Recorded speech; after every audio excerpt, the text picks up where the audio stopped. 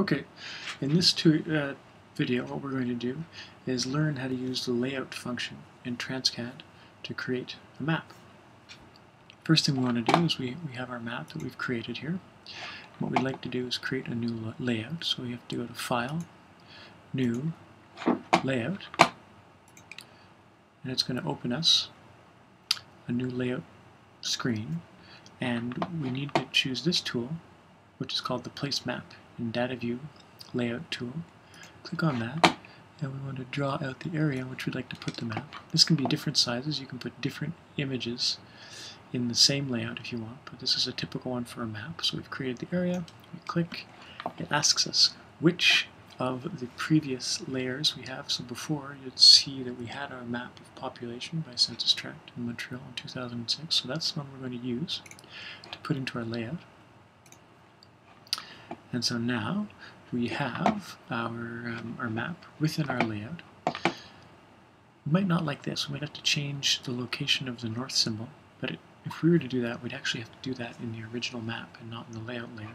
The legend, however, we can move if we click on the selection tool and then slide the legend into a place that we like more, now we have our map with the legend, with the north arrow.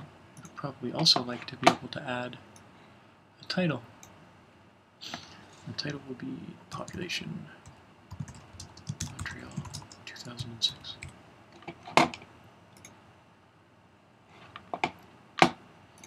Remember, we also want to have a source layer, so we'll put or a source description of the source. So we'll say source statistics Canada, Canada 2006 census.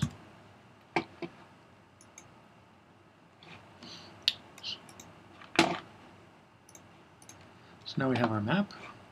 It's ready to go.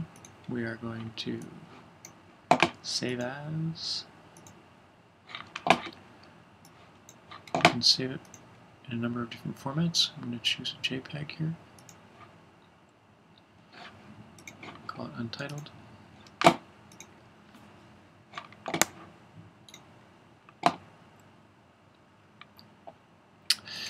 If we go and look at it now,